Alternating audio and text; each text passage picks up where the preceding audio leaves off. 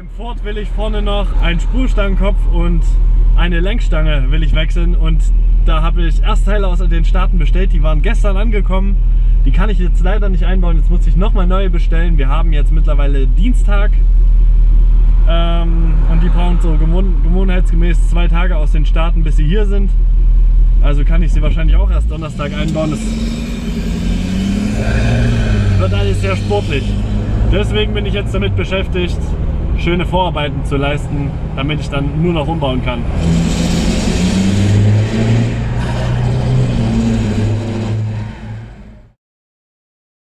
So, und zwar wechseln wir heute die Lenkung vom Ford. Und zwar vorne diesen, ich glaube, Mittellenkhebel heißt der und einen Spurstangkopf. Und dann machen wir noch einen Achsvermessungstermin. Morgen fahre ich nämlich eine ziemlich große Strecke wieder mit dem Ford und es wird nicht weniger, es wird dann immer mehr äh, die nächsten Tage. Deswegen muss das gemacht sein.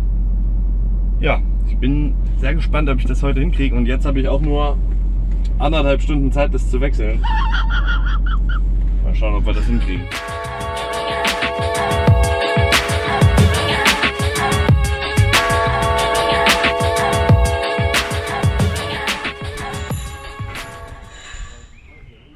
Alter, nach ein paar Sekunden kann ich schon nichts mehr anfassen. So, Splint ist draußen.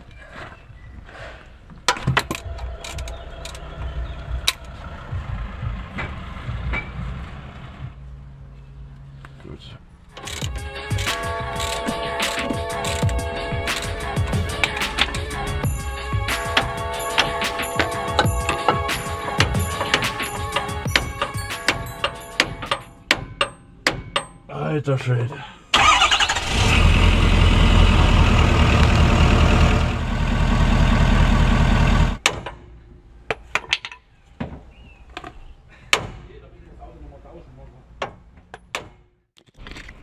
Nach vier Stunden ist endlich dieses Kackding hier raus. Das ging jetzt nur mit dieser Gabel, dessen Namen ich noch nicht kenne. Aber ich werde sie bis ans Ende meiner Tage lieben.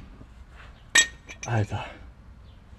Also das hing bis eben noch hier oben drin.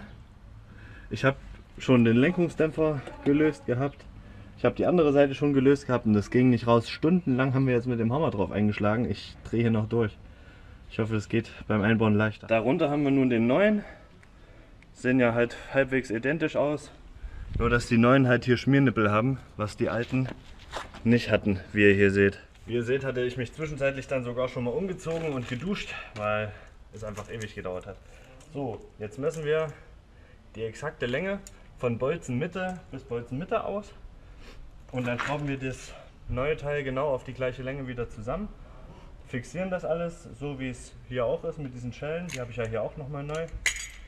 Ähm, und dann kommt es unter die Karre.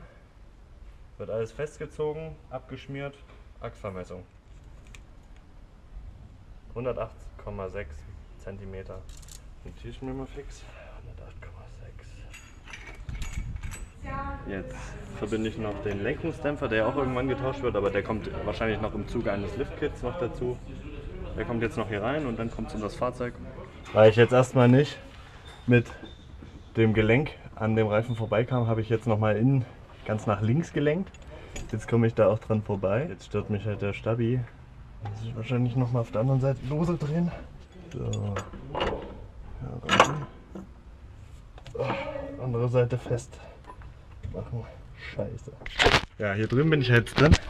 Jetzt geht es darum, dass ich hier auf der anderen Seite unter dem Fahrer quasi hier in diesen Lenkarm, der quasi aus dem Lenkgetriebe kommt, komme und dass ich den dann da einsetzen kann. Ja, noch ein Stück. Gut, danke, passt. Jetzt können wir den Lenkungsdämpfer wieder festmachen. Muss ich quasi dann zusammendrücken und hier festdrehen.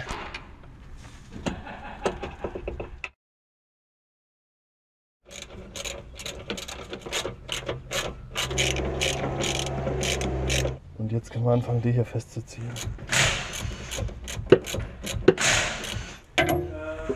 Und rüber zur anderen Seite.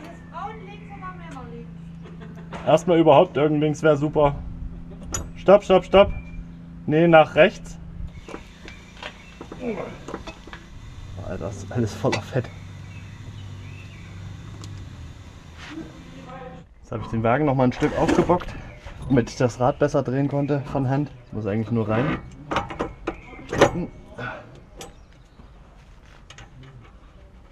Und mit der Schraube sichern. So, jetzt ist schon wieder das Loch für den Splint da. Dann kann ich den Splint durchziehen und fertig sind wir. Gut. Halt mal mit dem tollen Victorinox. Das nur noch auf der anderen Seite.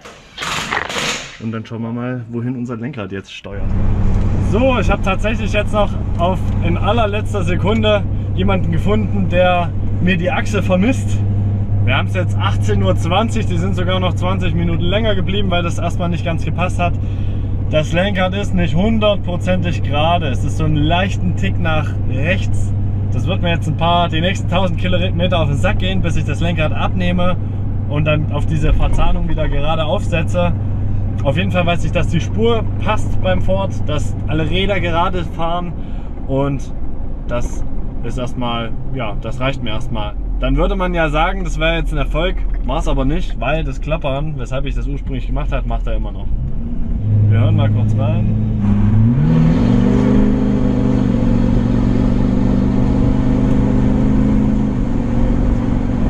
Ich bin jetzt extra noch mal in die Ecke gefahren, wo es Kopfsteinpflaster gibt. Und ich habe schon klappern hören. Vorne links. Achtung. Oh, ich kotz ab. Das hat ja gar keine Verbesserung gebracht. Was ist bitte das Problem dieser Drecksachse? Da muss ich dann echt nochmal der Sache nachgehen. Das nervt mich. Den ganzen Tag damit verbracht, ey. Oh. Tja, wie ich schon immer wieder mal in Videos gesagt habe, mein Kanal zeigt nicht nur Erfolge. Ich mache erstmal was, schaue, ob es klappt, zeige euch das und wenn es nicht klappt, sage ich euch das dann. Und genauso ist es hier in dem Video. Es kann nicht immer nur Erfolge geben. Aber das, was ich gewechselt habe, musste eh gewechselt werden. Also war das schon mal okay. Es ist halt nur frustrierend, dass ich jetzt weiter das Klappern habe. Und gerade morgen kommt eine große Strecke auf mich zu. 1000, wie viel Kilometer? Boah, auf jeden Fall ziemlich weit. Wo ich hinfahre, darf ich euch leider nicht sagen. Ich bin zu einer Party von ziemlich harten Jungs eingeladen. Aber leider darf ich da nicht filmen. Ich darf euch gar nichts darüber groß sagen, wo es ist, mit wem es ist. Ja, ist leider da ein bisschen, bisschen schwierig mit den Jungs. Dann wünsche ich euch trotzdem jetzt noch einen schönen Tag und bis zum nächsten Video, in dem wir dann wahrscheinlich hoffentlich dieses Problem lösen mit dieser scheiß Achse. Also bis zum nächsten Video. Ciao.